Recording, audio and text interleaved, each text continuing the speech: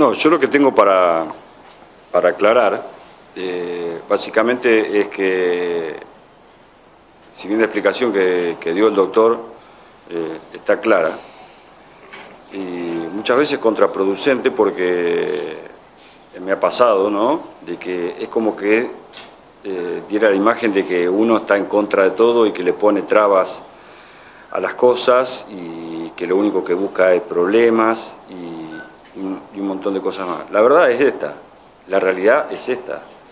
Eh, estamos llevando eh, nuestros hijos a bailar a un lugar que no está cumpliendo con los requisitos que tiene que cumplir.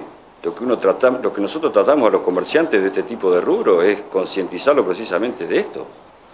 A ver, eh, las redes sociales nos hicieron un montón de críticas y que la verdad que yo no me hago eco, pero la verdad es que eh, cuando, cuando tramitan la habilitación, hicieron todo el trámite. Fue Obras Públicas, fue Montalogía, fuimos nosotros, fue Tránsito, fue...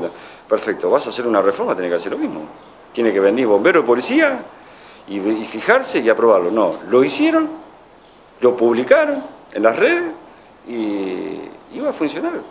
Entonces, a ver, lo que sí también eh, hay que dejar en claro es que no hubo tiempo, no hubo tiempo de corregir la situación porque el evento se iba a desarrollar el sábado de la noche y el juez toma conocimiento el sábado a las ocho y media de la noche. O sea, puso en marcha todo el mecanismo prevencional que tiene a su alcance, porque si nosotros no hubiésemos enterado de esto el lunes o el martes, vamos a suponer, bueno, ya hubiese sido diferente, decir, bueno, vení, vamos al lugar, lo analizamos y si no, esto no puede funcionar o esto así no puede funcionar no tuvimos tiempo.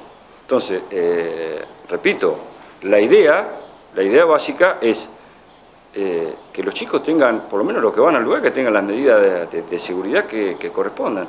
Y después, eh, ¿cuál es el inconveniente? Y de los vecinos. Y bueno, sí, obviamente, se, quejan los vecinos de ahí, se quejan los vecinos de Cantobar, se quejan los vecinos de, de la cantina y se quejan todos. Bueno, lo único que nosotros tenemos a nuestro alcance son los decibeles, ¿no? Que se miden los vecinos, lo que le pedimos a los vecinos es que nos dejen entrar a la casa y tomarlo desde adentro de la casa del vecino, precisamente para saber si se está cumpliendo con los parámetros.